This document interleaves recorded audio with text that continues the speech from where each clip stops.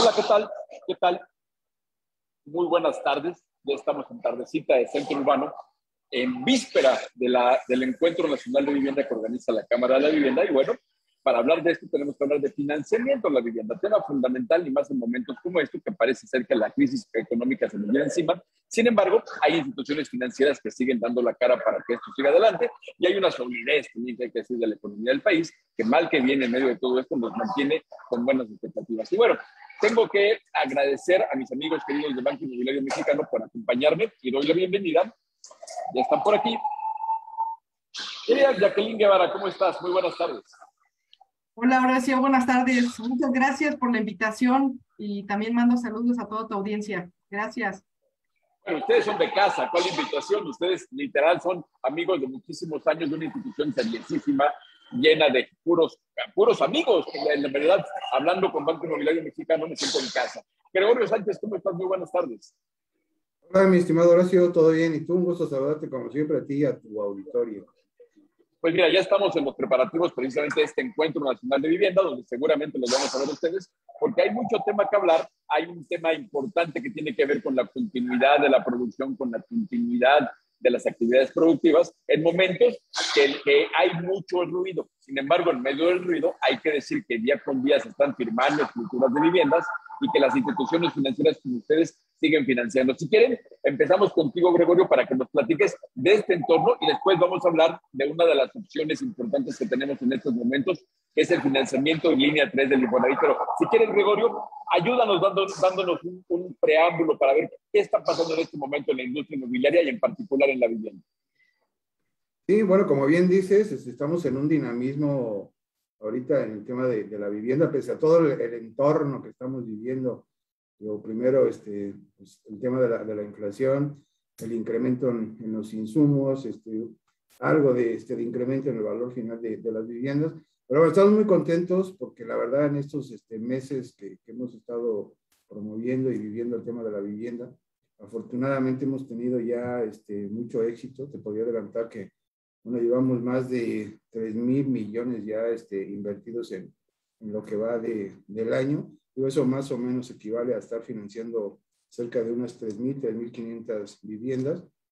Ahora, como te comentábamos en alguna ocasión, comenzamos hace aproximadamente mes y medio las giras territoriales que hacíamos tradicionalmente en el banco año con año y que, bueno, lamentablemente por temas de la pandemia tuvimos que este, suspender este, provisionalmente los dos últimos años, pero bueno, la retomamos este, con mucho, mucho éxito. Eso nos permite tener mucho contacto con nuestros clientes, con nuestros prospectos, porque bueno, también se trata de, de, de ver a los que no son clientes de, del banco. Y la verdad vemos mucho optimismo por parte de los desarrolladores, mucho este, inversión, este, no solamente por parte de, de, nosotros, sino también de nuestra competencia que está también ávida de colocar sus, sus recursos. En términos generales, te podría decir que vemos muy bien el entorno de, de la vivienda. A nosotros nos sorprendió también este, lo que llevamos, como te decía, de, del año. Este, tenemos un incremento cercano al 10% conforme a lo que habíamos hecho al mismo periodo del año pasado. Y estoy hablando de cifras de enero a abril. ¿no? Entonces, estamos muy contentos, muy entusiasmados. Y bueno, como siempre lo decimos con cautela, sí, pero muy, muy entusiasmados con cautela, pero echadísimos para adelante. De hecho, platicando con directivos del banco, con otros directivos del banco, la verdad es que la expectativa está superando, está, la realidad está superando lo que se había pensado, lo cual es una muy buena noticia en medio de tantas cosas tan complejas que estamos viendo con la economía. Ahora, Jacqueline, si quieres, por favor, ayúdanos a platicarnos entre estas opciones de financiamiento. Ustedes manejan crédito puente, manejan eh, crédito mesamín, manejan todas las opciones para financiar a una empresa inmobiliaria. ¿Por qué no nos hablas de esas opciones y nos encaminas para hablar de línea 3? Sí, claro que sí, eh, Horacio. Pues prácticamente lo que es línea 3 es prácticamente nos volvemos los administradores del Infonavit. A diferencia del crédito puente, se da un anticipo del 80% y un 10%, digamos, lo mantenemos como un fondo de garantía. ¿A qué referimos con eso? Pues prácticamente al llevar un avance de obra donde vemos y revisamos que los recursos de los derechohabientes esté bien aplicado, pues prácticamente ese fondo de garantía, va a graduarse, nos garantiza que el derechohabiente tenga una vivienda, digamos, digna, con servicios de agua, luz, drenaje, etcétera, que al final se convierte en el famoso DTU, que es un dictamen técnico único en el cual eh, Banco Inmobiliario lo que hace es dictaminar esa viabilidad de, construcción y al final, pues al derechohabiente se le da una póliza donde respalda, digamos, en cuanto estructura, cinco años de garantía como mínimo, en lo demás de edificación un año y prácticamente así damos la garantía de que la vivienda pues esté, eh, así que comercialmente y constructivamente eh, bien construida. Ahora, Gregorio, platícame. Eh, para un desarrollador que está muy acostumbrado al financiamiento tradicional en puente, que es lo que más eh, nos hemos acostumbrado a manejar para financiar la producción de vivienda, ¿cuál sería la diferencia con, con, línea 3 y en qué casos les conviene usar línea 3? Sí, bueno, ahorita sí pusiste en un predicamento a Jackie, Jackie es nuestra directora del área técnica. Cuando le preguntaste de, los productos, es como si a mí me preguntas de sistemas constructivos, iba a pasar seguramente algunos este, apuros. Pero bueno, sí, primero este, comentando un poquito más de, de, la pregunta que le hiciste a Jackie. Bueno, nuestros productos ya los conocen este, nuestros este, clientes y, y, no clientes. Somos un banco dedicado a la parte del financiamiento de la vivienda. Pero bueno, hoy queremos platicarles, como bien este, comentas, dos temas. El primero es que traemos un financiamiento nuevo, un, este, un hijo que nos acaba de nacer este, pues prácticamente hace dos semanas, que es un financiamiento que va exclusivamente dirigido al tema de la urbanización. Urbanización entendiéndose para este, la venta de los lotes este, individuales. Creo, este, sin sonar un poco este, soberbio, que somos el único banco que tiene este crédito exclusivamente para el tema de la urbanización y nos queremos subir un poco a esa ola este, que está ahorita en boga por parte del Infonavit. Tú sabes que el derechohabiente ya en línea 2 puede ocupar este, su crédito para la compra de, este, de un lote con, con, servicio. Y la otra buena noticia es que, bueno, lo pueden cofinanciar. Entonces, dada esa idiosincrasia y que decimos, bueno, ya hay una salida, siempre la hubo a través de, de, la banca comercial, pero bueno, hoy hay una salida también a través del Infonavit. Entonces, el banco, pues siempre tratando de estar a la vanguardia, pues está innovando este producto nuevo que pues, obviamente ponemos a disposición de, de, nuestros clientes y es lo que hemos estado también promocionando en nuestras giras territoriales. Y la otra es la parte que, bueno, ahorita queremos este, profundizar un poco más, es a través de, como ya lo comentó Jackie, de la línea 3. ¿Y por qué la línea 3? Si me preguntas, oye, ¿cuál es la diferencia entre un puente y una línea 3? Pues prácticamente es el costo financiero. No te diría que en la parte de línea 3 no hay un costo financiero, porque bueno, lleva implícita algunas condiciones tanto la aceptación como la parte de la este, administración. Y para nosotros también siempre lo hemos dicho, ser administradores de línea 3 del Infonavit, que llevamos ya casi ocho años y más de 5 mil viviendas administradas, vemos este, la línea 3 como si fuera un crédito puente de nosotros. Si prácticamente la línea 3 que nos están presentando no cumple con las características para que el mismo banco este, financie este, el puente, nosotros declinamos ser los, los administradores.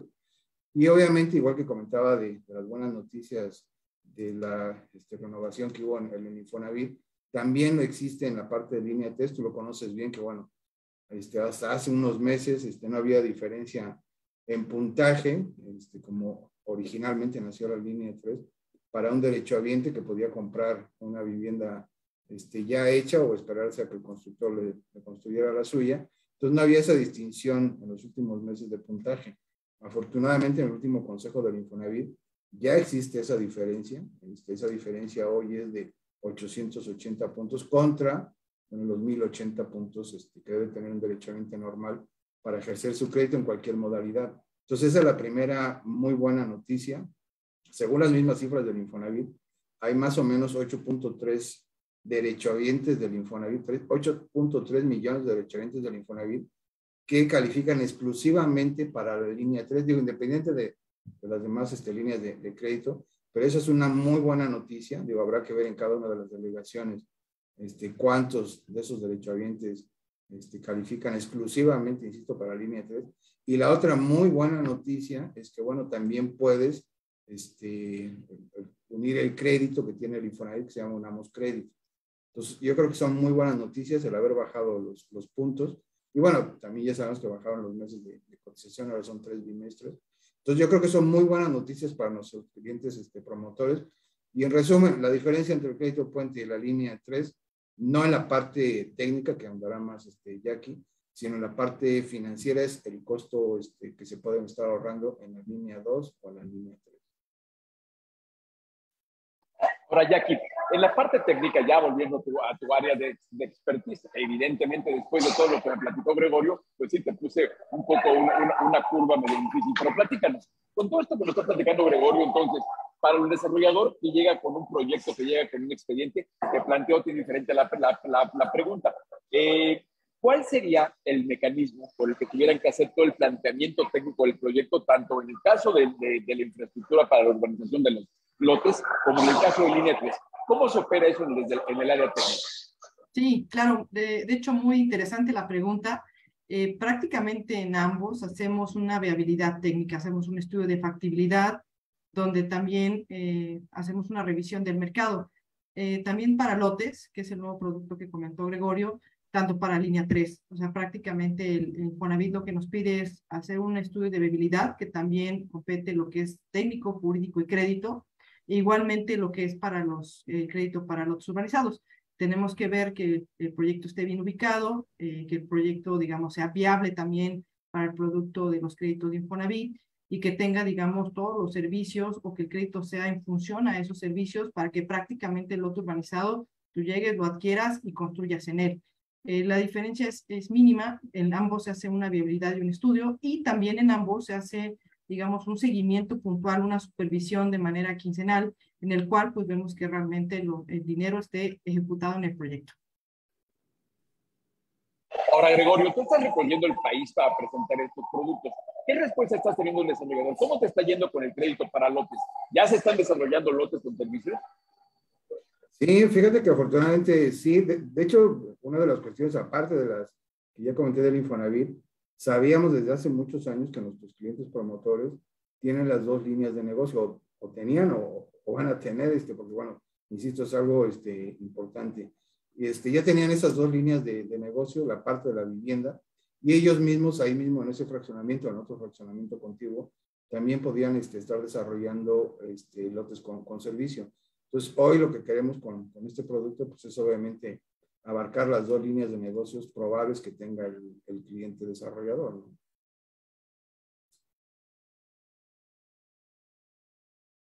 Creo que se desapareció. No, aquí estoy. Lo que pasa es que tengo un ah. poco de bastante, bastante mala señal, entonces, perdón. Como andamos ya, insisto, con los preparativos para el evento de Canadá, andamos, andamos con eso. Pero una, una disculpa, pero aquí andamos, aquí andamos, porque el punto, el punto ya aquí, entonces, a ver, eh, a mí me, me, me, me hace un poco de, interés ver qué es lo que está pasando en el país por los desarrolladores para cambiarles el chip, en qué momento pueden aprovechar mejor para hacer línea 3 y en qué momento pueden aprovechar mejor para crédito puente y en qué momento saben que la opción que tienen ustedes de financiamiento del otro no puede funcionar.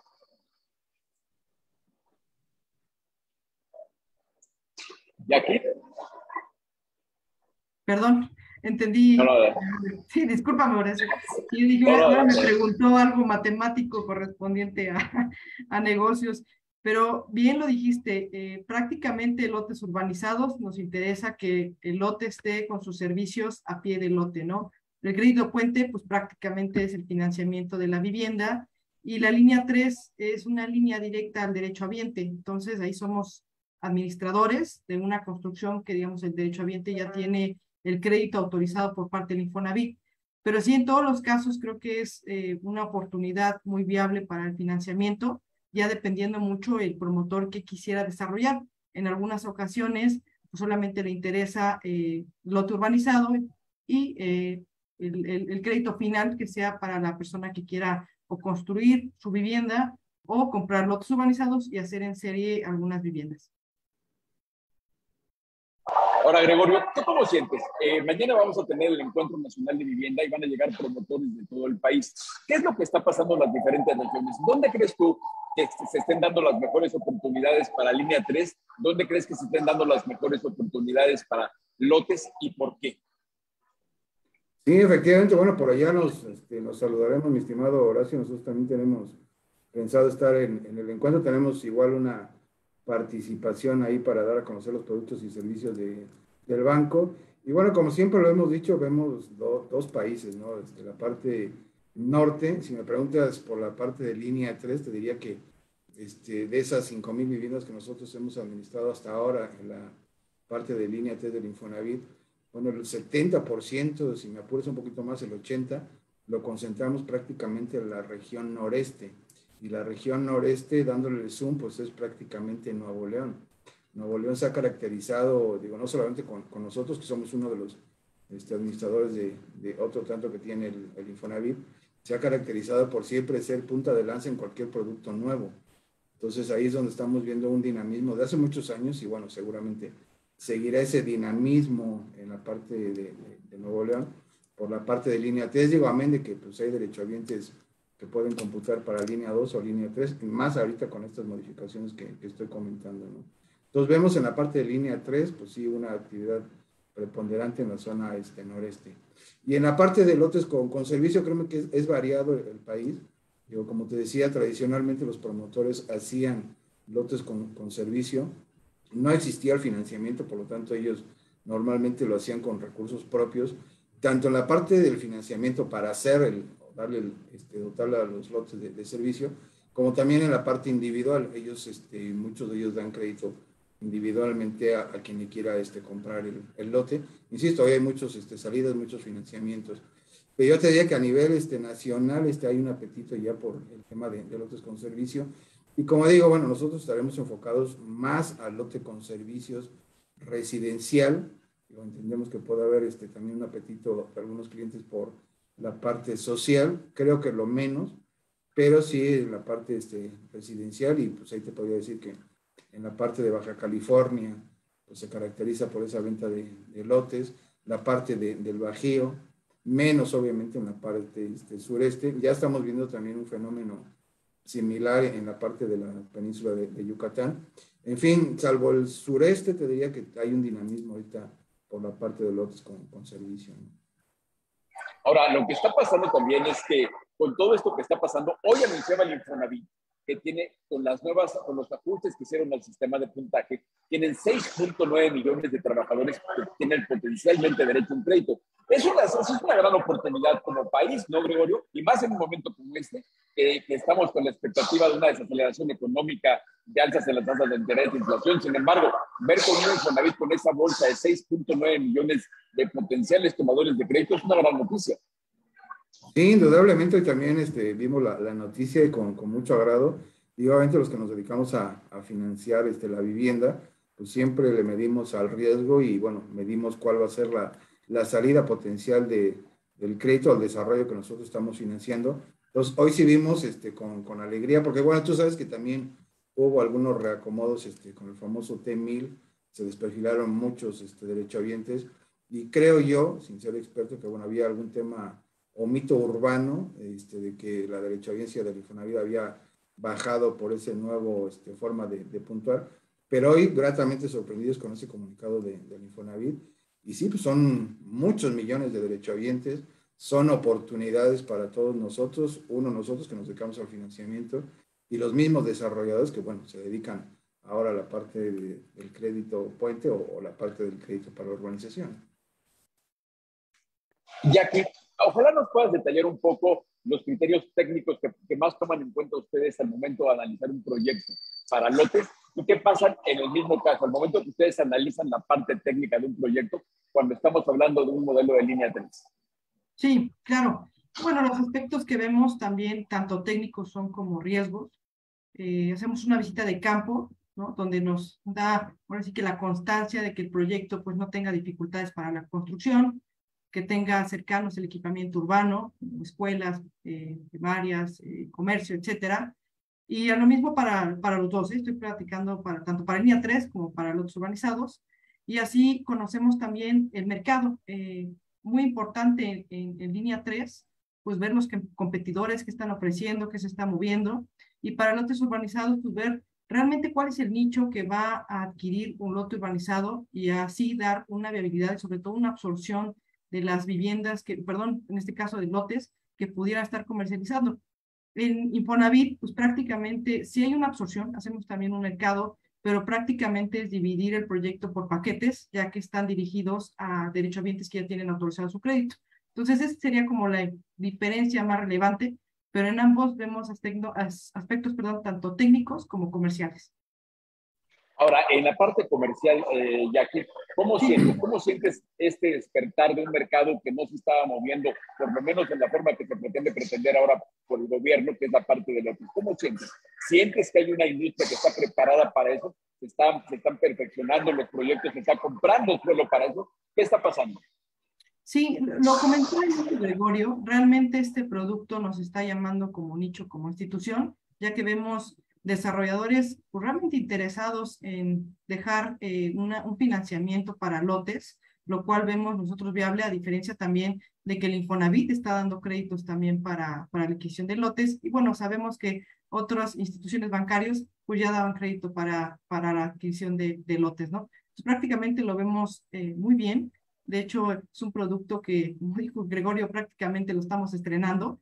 Y sí, sí hemos tenido eh, varios promotores eh, muy inquietos y también, pues ya, eh, así que con, con la presión para contar con el financiamiento por parte de BIM. sí, adelante, adelante. Este, sumarme al comentario de, de Jackie.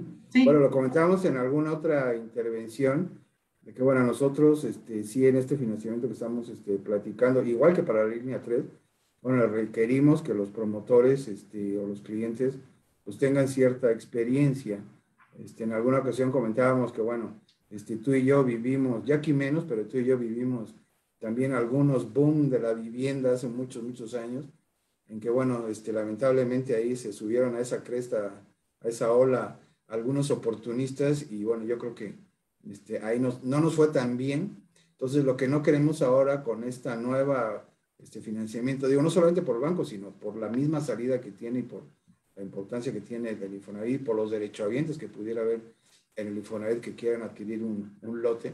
Entonces, lo que sí pedimos es obviamente que tengan experiencia, experiencia en la parte de la construcción. Como digo, este, los promotores tienen en muchas ocasiones esas dos líneas, pero sí pedimos que tengan este, al menos tres años de experiencia en la parte de la urbanización y, y venta de, de, lote, ¿no? Como decimos internamente, son dos bichos diferentes, al igual que este, siempre hemos dicho que no es lo mismo vender una vivienda de interés este, social o medio que una vivienda residencial o residencial plus. Cada cosa necesita su especialización y cada cosa necesita su, su mercado, ¿no? su prospectación. Entonces, sí, igual que la línea, igual que la línea 3, porque bueno, pudiera sonar también la línea 3, oye, no tengo que pasar los filtros de un banco para este, que me den una, una línea 3, pues no, como decía al principio, nosotros este, vemos la línea 3 este, en todos los aspectos que ya comentó Jackie, desde el punto de vista técnico, desde el punto de vista legal y desde el punto de vista de crédito. Si eso hace sentido para nosotros, como si el banco fuera a dar el financiamiento, yo tomo el pedido como administrador. Si a nosotros no nos hace el sentido porque financieramente no está bien la empresa, técnicamente no se va a ejecutar el proyecto correctamente, legalmente no está, digo, el banco decide mejor no este, tomar el, la administración de, ese desarrollo. Entonces, para ambos casos tienen que tener experiencia. Bueno, eh, tú hablas con perfecta memoria de todas las crisis que pasamos y de todo lo que padeció el sector inmobiliario con esto. Lo que en esos momentos no teníamos, que ahora sí tenemos, es un banco inmobiliario mexicano que tiene precisamente la experiencia para poder detectar eso. Porque a la hora de que ustedes eh, dan un comentario sobre un proyecto, no están cuidando únicamente al banco, también están cuidando al desarrollador, están cuidando al sistema, están cuidando a todo lo que es una industria inmobiliaria. Entonces, esta expertise que tenemos ahora, después de todos los problemas que padecimos, también es un valor agregado que vale mucho la pena cultivar, mi querido Gregorio. No es de gratis. Todos los años de experiencia que tiene el equipo directivo de Banco Inmobiliario, sí es un valor agregado que es uno de los grandes activos de esta industria. Sí, y, bueno, ahí ahorita que hablabas de cuidar los intereses, en la parte de línea 3 nosotros cuidamos los intereses del derechohabiente. Digo, finalmente el derechohabiente es el que nos otorga a nosotros su, su dinero para que nosotros lo administremos y nosotros vigilemos que realmente su dinero está en su patrimonio. Para nosotros la línea 3 sí, obviamente cuidamos mucho al desarrollador, pero principalmente protegemos al derechohabiente para que efectivamente su vivienda, su patrimonio, sea ejecutado en el tiempo y en la forma y en la calidad que originalmente, al menos en los planos, al menos en las carpetas, nos dijo el, promotor que iba a realizar. Oye, Jackie, a ti te toca estar cuidando la parte técnica cuando Banco Inmobiliario, una de sus grandes fortalezas es que tiene la capacidad de llegar con desarrolladores de todos los tamaños de todo el país. ¿Cómo se está construyendo la vivienda? ¿Qué, qué me podrías decir de la calidad con que se están llevando a cabo todos los proyectos? Ustedes trabajan con 400 desarrolladores en todo el país. ¿Cómo les va con la calidad? ¿Qué diagnóstico me dirías de la calidad que, tienen ustedes en la cartera? Y Horacio, algo muy importante, eh, como bien lo comentas, eh, dentro de Banco Inmobiliario, además del expertise, contamos con verificadores certificados, tanto por el banco como por Infonavit. Entonces, prácticamente el seguimiento que se dan las visitas de manera quincenal, pues vemos que la calidad, como bien comentas, especificaciones estén bien ejecutados. Eso es muy importante para nosotros porque todo, digamos, eh, las incidencias que podamos encontrar, las implementamos en una bitácora, el cual al final, eh, tanto con Infonavit como los créditos puente, eh, cerramos en una carpeta y dictaminamos que el proyecto esté, digamos, en su, en su mejor calidad. Es muy importante para nosotros eh, tener pues ese sello de que el Banco Inmobiliario en un principio del crédito en Infonavit hacemos una visita que le llaman eh, la visita cero o 0% de avance y de ahí hasta su conclusión. Entonces prácticamente revisamos que el proyecto esté en su origen, iniciado, digamos, con una calidad de cimentación, con una calidad de pruebas, pedimos los laboratorios, etcétera, y al final la entrega de la vivienda que prácticamente pues da la póliza y la calidad que te comentaba anteriormente de la estructura y también de las especificaciones que se colocan en, los desarrolladores. Prácticamente un resumen general, pues sí hemos visto muy buena calidad de ejecución. Sí cambia, como bien comentó eh, Gregorio, los proyectos que tenemos en el norte a los proyectos en el sur. Eh, es totalmente otro tipo de construcciones y también otro tipo, digamos, de orden y de ejecución. No es lo mismo construir en una zona muy calurosa, una zona húmeda o una zona seca, pero prácticamente pues sí hemos visto buena calidad y es el seguimiento que, que le hemos dado. Oye, Gregorio, y con el caso de línea 3, a mí me interesa mucho línea 3 porque me parece que en este momento es un instrumento muy importante para inyectarle confianza al mercado para dinamizar algunas plazas que a lo mejor con crédito puente normal les hacía falta otro tipo de impulso. ¿Tú qué le dirías a, los desarrolladores que puedan estar escuchando esto o qué les vas a decir a los que te encuentres ahora en Puebla? ¿Cuál sería el mensaje para diferenciar entre los diferentes productos? Porque a fin de cuentas, si ustedes tienen todos los productos, le pueden dar el crédito puente o atenderlos en línea 3 o darles una línea de crédito. Ustedes los pueden atender. ¿Cuál sería el mecanismo que más conviene a cada quien y cómo se, los, cómo se analiza para ver ese, ese, ese crédito perfecto para cada proyecto? Bueno, yo te diría como primero, y lo que les decimos a, a nuestros clientes promotores es que la línea 2 o la línea 3 no, no se compiten. Este, son dos este, mercados diferentes, porque, bueno, ya comenté hace un inicio que existen 8.3 millones de derechohabientes que califican exclusivamente para el tema de la línea 3. Digo, línea 2, bueno, cada este, derechohabiente calificará en la parte de, de línea 2. Entonces, yo, yo lo primero que les digo a los promotores, oye, no se compite línea 2 con línea 3, línea 3 puede ser un complemento para ti, inclusive puede mejorar obviamente tu balance, porque al ser un costo financiero menor al que tienes con el crédito puente, tu balance obviamente se ve mucho mejor, se ve este, más sano. Y la otra es que, bueno, este, tienes una oportunidad más de ejercer este, una, una línea 3 para un derechohabiente diferente al de línea 2. Hoy, como decía al principio, bueno, no había esa distinción entre línea 2 y línea 3 en cuanto al puntaje, entonces un derechohabiente podía optar por comprar su vivienda ¿no? este, ya realizada o este, esperarse los seis meses que este, promedio tarda un promotor en, en hacer su, su, vivienda. Hoy con esa distinción, bueno, tienes dos caminos.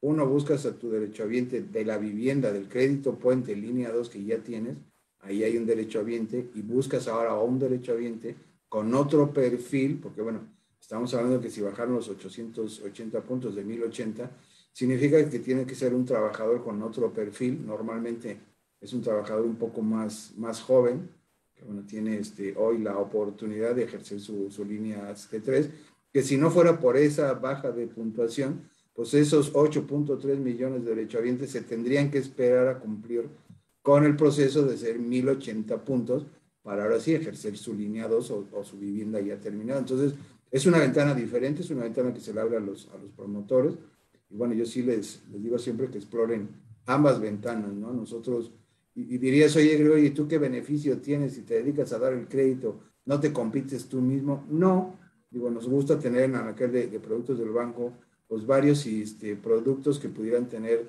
distintas salidas para, para el, este, el desarrollador. Lotos con servicio, tu línea 2, tu línea 3, en fin. Este, como bien dijiste, somos un banco de nicho, un banco especializado, que eso es lo que nos gusta, tener productos diferenciados y productos que le podamos ofrecer al derechohabiente, cual sea su salida, cual sea su producto, bueno, lo encuentran con Banco Inmobiliario.